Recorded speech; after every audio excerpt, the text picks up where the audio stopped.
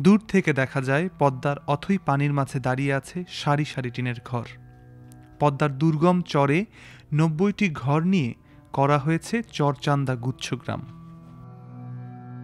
মাদারীপুরের শিবচর উপজেলার কাঁঠালবাড়ি ইউনিয়ন থেকে ইঞ্জিন চালিত ট্রলারে প্রায় এক ঘণ্টা নৌকাপথ পাড়ি দিয়ে যেতে হয় এই গ্রামে।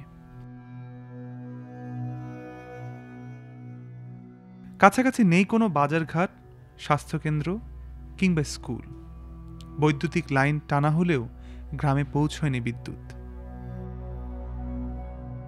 সরকার কোটি টাকা ব্যয়ে এই গুচ্ছগ্রামে স্থাপন করলেও এখানে নেই পর্যাপ্ত সুযোগ সুবিধা।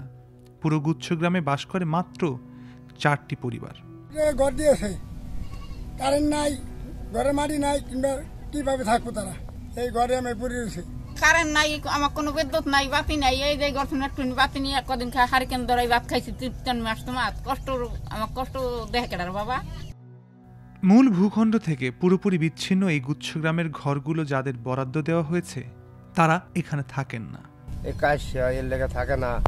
এখানে এই যে চর সাপ আছে বড় বড় পাশে নদী মানুষজন আসে না বদলি কিষণ চলে না এনে এর লেগে মানুষজন আর থাকে না। দুই হাজার ষোলো সতেরো অর্থ বছরে বাংলাদেশ ভূমি মন্ত্রণালয়ের অর্থায়নে এক কোটি পঁয়ত্রিশ লাখ টাকা ব্যয়ে চরচান্দা মৌজায় স্থাপন করা হয়েছে এই গুচ্ছগ্রাম। দুই হাজার উনিশ সালের ছাব্বিশ মার্চ নব্বইটি পরিবারের কাছে ঘরগুলো হস্তান্তর করা হয়। তার মধ্যে মাত্র একটি পরিবার এখানে রয়েছে। বসবাসরত বাকিরা বরাদ্দ পায়নি, কিন্তু নদী ভাঙনের শিকার হয়ে এখানে আশ্রয় নিয়েছে। সম্প্রতি পদ্মায় পানি বৃদ্ধি ও নদী ভাঙনে বিলীন হয়ে গেছে এই গ্রামের অন্তত বিশটি ঘর। বাকি ঘরগুলোর অবস্থাও নাজুক। এই প্রকল্পে যথাযথ পরিকল্পনার অভাবের পাশাপাশি দুর্নীতি হয়েছে বলে মনে করছেন অনেকে। সরকারের মহৎ উদ্দেশ্যে যে শতাধিক ঘরবাড়ি নির্মাণ করা হয়েছে, সেগুলি দায়িত্বপ্রাপ্ত কর্মকর্তাদের অবহেলার কারণে গণবিচ্ছিন্ন, জনবিচ্ছিন্ন এলাকায় করা হয়েছে।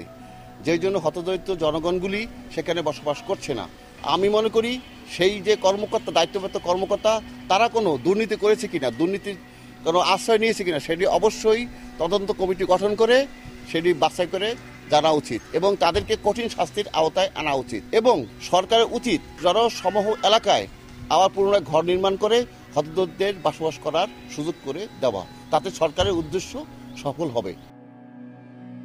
জেলা প্রশাসক বলছেন দু হাজার সতেরো সালে হওয়ায় তিনি এই গুচ্ছগ্রাম সম্পর্কে কিছুই জানেন না। এটা তো দুই হাজার সতেরো সালে হয়েছে আসলে কি উদ্দেশ্যে কীভাবে এটা সিলেকশন হয়েছে এটা আসলে আমার আহ, এই মুহূর্তে আমার জানা নেই। আমি জেনে আমি আগে খতিয়ে দেখে তারপর হয়তো আপনাদেরকে জানাতে পারব।